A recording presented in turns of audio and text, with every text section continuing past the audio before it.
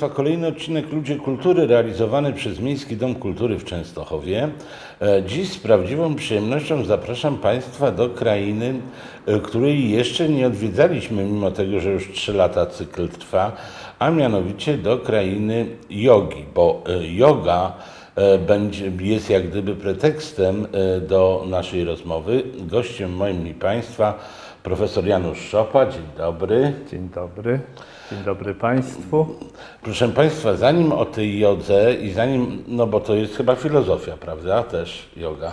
Cały system pracy nad sobą. Cały system. Dobrze, to za, zanim o tym będziemy rozmawiać, to to, co Państwo lubicie najbardziej, czyli no można powiedzieć plotki, ploteczki, czyli przesłuchanie, e, skąd pochodzi, jakie ma korzenie nasz rozmówca, więc pierwsze pytanie, Częstochowianin Od 30 lat. od 30, a w dowodzie wpisane?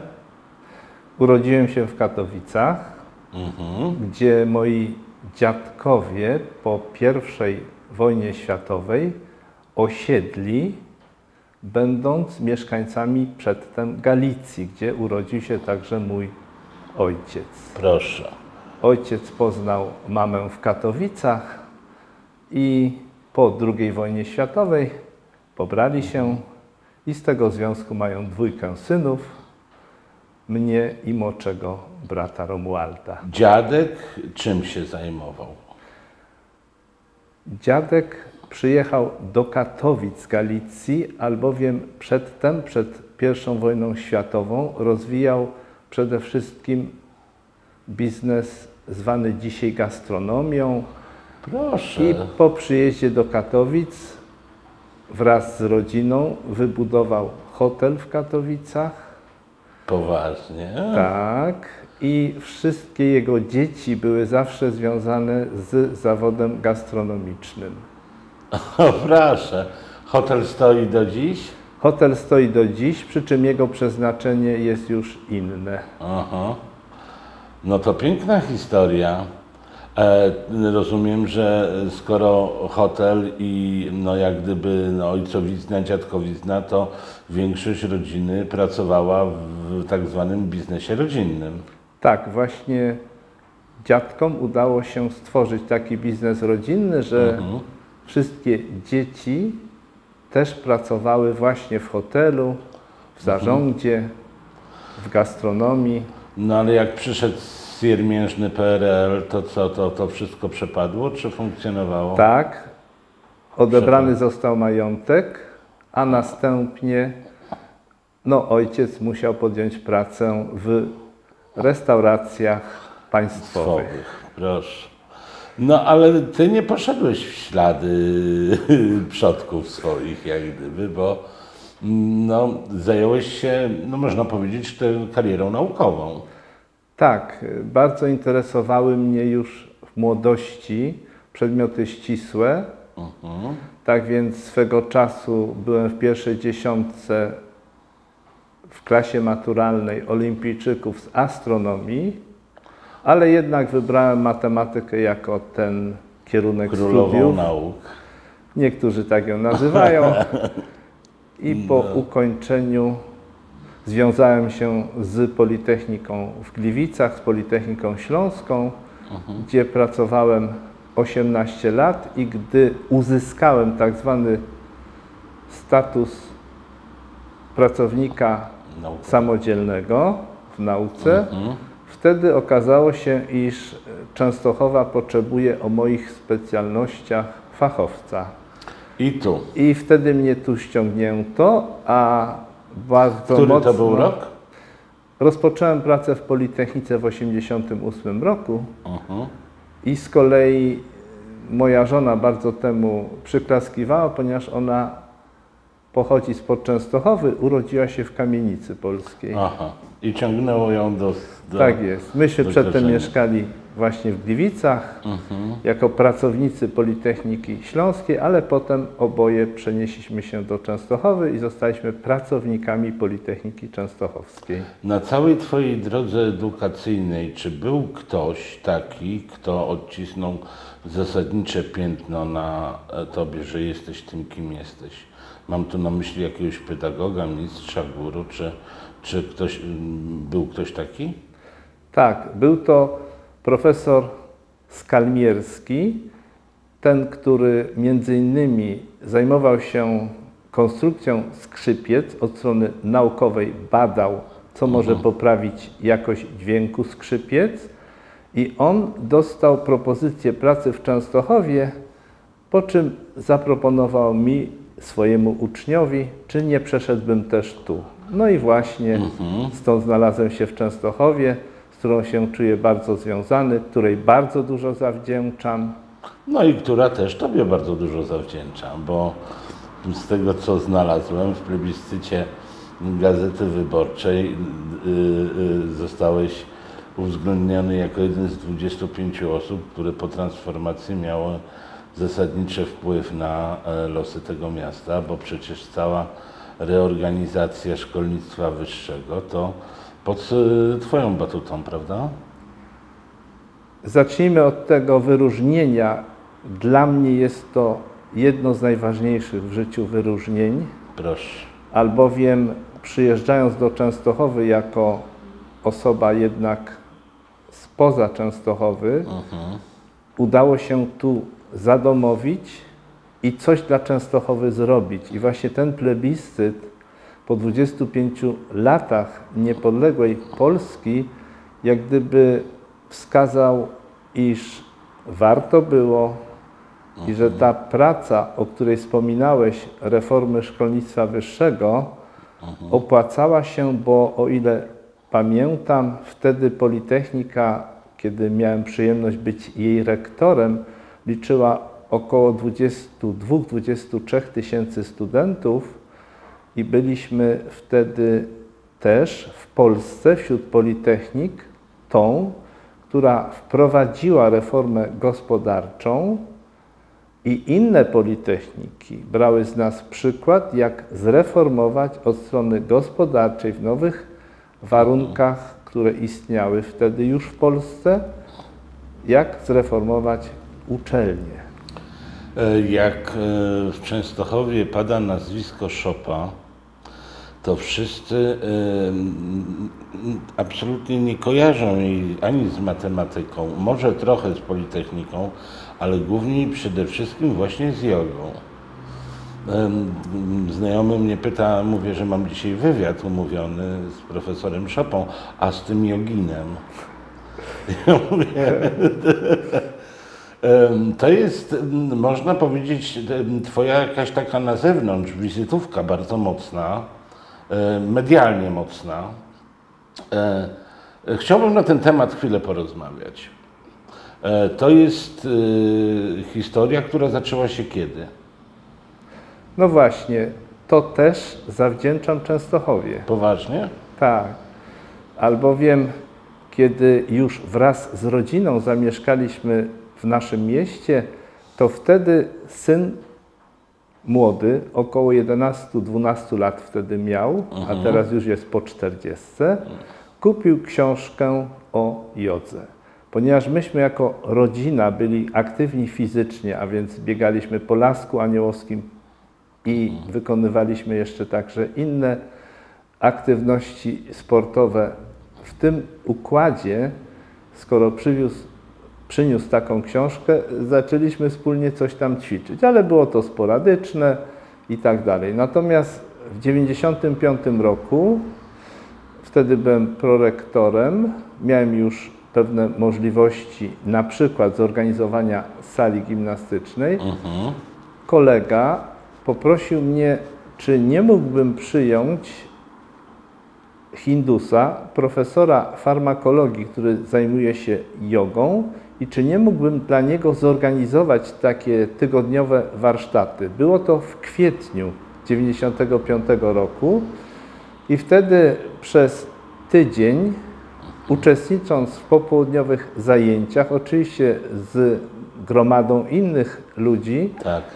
przekonałem się, że to jest chyba coś, czym warto się zająć. A więc po różnych aktywnościach sportowych przyszła ta Fascynacja. fascynacja Ale ćwiczeniami. to tydzień wystarczył, żeby bakcyla złapać? Dla mnie tak.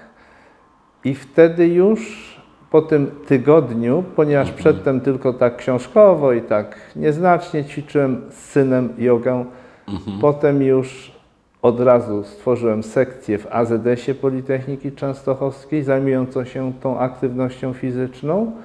No i tak się to zaczęło rozwijać, przy czym to, co my w jodze uczyniliśmy, to przede wszystkim jej unaukowienie i następnie bardzo zadbaliśmy o to, aby ustawodawstwo polskie otoczyło nas opieką.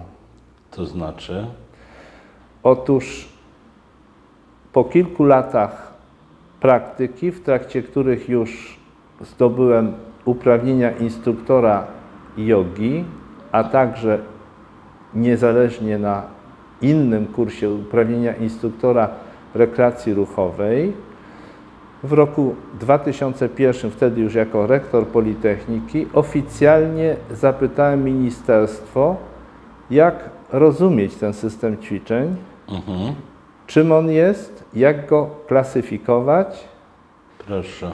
i jak można kształcić zawodowo w przypadku, gdy ktoś ma takie zainteresowania. I dostałem wtedy odpowiedź z ministerstwa, iż jest to aktywność prozdrowotna zwana rekreacją ruchową i w 2001 roku wyszła, wyszło zarządzenie ministra, w jaki sposób w ogóle instruktorów rekreacji ruchowej kształcić. I nas wtedy ulokowano właśnie w tym nurcie aktywności nie sportu wyczynowego, ale rekreacji ruchowej. Czyli można powiedzieć, że jest to zawód. Tak, i od tego czasu w Częstochowie w tym zawodzie wykształciliśmy około 1300 instruktorów, czyli tych, którzy mają uprawnienia do, Do- prowadzenia tych zajęć, a niezależnie od tego, od kilku lat również kształcimy instruktorów w Toruniu, gdzie wykształciliśmy do tej pory 300 instruktorów. Oczywiście jeszcze w tym roku akademickim, który nie jest zamknięty, odbędą się kolejne egzaminy, wobec czego sądzę, że po zamknięciu tego roku akademickiego, podliczając Częstochowę i Toruń, przybędzie kolejnych 80-90 instruktorów jogi. Ja bym chciał zapytać o jedną rzecz, bo dla osoby, która nie zetknęła się z jogą, jeżeli pada w ogóle to słowo, hasło, ten komunikat, no to od razu kojarzy się to z wegetarianizmem, od razu to się kojarzy z kadzidełkami, y, to się kojarzy z muzyką y, medytacyjną, z medytacją też gdzieś. Czy to jest system naczyń połączonych, czy absolutnie nie? W takim razie może odpowiem wpierw precyzując założenia naszego postępowania. Mówimy o jodze akademickiej. Tak, a potem rozwiniemy ten temat ogólnej jogi, która jest tak modna w całym świecie. Myśmy od lat starali się przede wszystkim wszystko sprawdzać w laboratoriach Czyli i umysłem racjonalnym. I umysłem racjonalnym. Wobec tego w naszym przypadku sięgnęliśmy do źródeł najstarszych jogi. Chcę wspomnieć, iż archeologiczne wykopaliska wskazują, iż joga jest co najmniej 4000 lat stara. I teraz to są fakty naukowe, że wykopuje się pewne figurki, które przyjmują pozycje takie, jak my teraz ćwiczymy. Ale oczywiście my odrzucamy jako racjonaliści to, co niektórzy Hindusi mówią, że ich Bóg Shiva stworzył jogę. I to jest ta zasadnicza różnica. I teraz, jeżeli ktoś jest racjonalistą, to on po pierwsze nie wie, czy w ogóle Shiva istnieje. Po drugie, nie będzie go ciągnęło do jakichś właśnie kadzidełek, czy tam oddawania czci bożkom i tak dalej, i tak dalej. Wobec czego myśmy wyciągnęli to, co płynie z starożytności, gdzie yoga w starożytności nie była żadną religią. Starożytne teksty nie wskazują Czy na to to, że w czasie religijna? praktyki Tak. jogi oddaje się cześć jakimś bóstwom czy coś Mhm. takiego. Wobec czego oczywiście kolorowy Tybet, ale przede wszystkim też e, kolorowe Indie przyciągają ludzi naszej kultury i cywilizacji właśnie czymś takim, co nie zawsze jest udokumentowane naukowo. Mhm. My to odrzucamy, dlatego, Mhm. że jesteśmy racjonalistami i chcemy, żeby za nami stało ustawodawstwo. A nie? Znaczy, I w tym momencie to, co u nas się dzieje, czy to na zajęciach, to jest oparte o kinezjologię, o techniki, metodyki pracy z ciałem i tak dalej, i tak dalej. Nie ma tam żadnego namaszczania przez mistrza, czy jakichś takich ezoterycznych, niesprawdzonych racjonalnie żadnych e, rytuałów. Czyli my jesteśmy tymi, za którymi stoi nauka o kulturze fizycznej, nauka o człowieku. Dobrze, wyczerpująco bardzo, ale jak na profesora przystało. E, ja chciałem zapytać się jedną rzecz, bo no oczywiście m, przygotowując się do spotkania z Tobą, tak troszeczkę poszperałem w tym internecie, a z racji tego, że e, zawsze byłem takim umysłem bardzo mocno humanistycznym i miałem niezły problem z matematyką w szkole średniej, że cudem zdałem maturę. E, m, Przeczytałem, e, że jesteś twórcą e, jakiejś pracy naukowej, jeżeli nie, no to mnie popraw, jeżeli jestem w błędzie, e, która mniej więcej brzmi e, wpływ teorii chaosu na wartość e, pieniądza i papierów wartościowych na giełdzie. Dobrze mówię? Tak. Dobrze. Teraz nie chciałbym, bo wywiad nie może być za długi. Nie chciałbym, żeby teraz tutaj e, e, był jakiś mega wykład na ten temat. Ale czy e, e, chaos ma wpływ na wartość pieniądza? Jeżeli tak, to jak? Mógłbyś w dwóch, trzech zdaniach powiedzieć coś na ten temat? Tak. Bardzo proszę. Trzeba rozróżnić popularne pojęcie chaosu od zdefiniowanego matematycznie tego słowa. Aha, tu jest pies pogrzebany. Chaos w rozumieniu popularnym to nieporządek, bałagan. Natomiast w matematyce słowo chaos oznacza uporządkowanie. Uporządkowanie, w którym nie umiemy pewnych rzeczy przewidzieć, ale jednocześnie nie jest to losowość. Losowa, losowość y, rządzi się innymi prawami. Chaos jest zdeterminowany, jak się to mówi Mhm. w matematyce, wobec czego są pewne metody, które można stosować zarówno do przypływów i odpływów poziomu Nilu, bo stąd się właśnie te metody między innymi zaczęły, kiedy Anglicy badali, czy w danym roku będzie nadmierny przypływ wody przez Nil, czy też mniejszy. I to są metody matematyczne i można je było stosować do giełdy Proszę. i pewne wyniki osiągać. Tak? Tak, tak, tak. Czyli wszystko się od Nilu zaczęło? Tak. Te metody, które myśmy stosowali do giełdy, były wymyślane przez Anglików, którzy badali poziom wody w Nilu. Super.